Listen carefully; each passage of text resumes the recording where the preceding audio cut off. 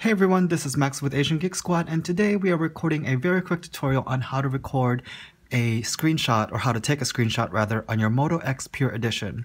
All you have to do is hold the power button and the volume down button and we hold them together.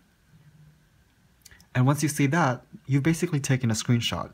Now there's two ways to access that screenshot. One is through the notification. You can touch that right there and that will take you to your screenshot. So that is your screenshot. You can go ahead and edit from here or share. Or another way to do it is go to your gallery. And then there's your screenshot folder. All right, so that's just a quick tutorial on how to take a screenshot. Do you guys have any questions about the Moto X Pure Edition?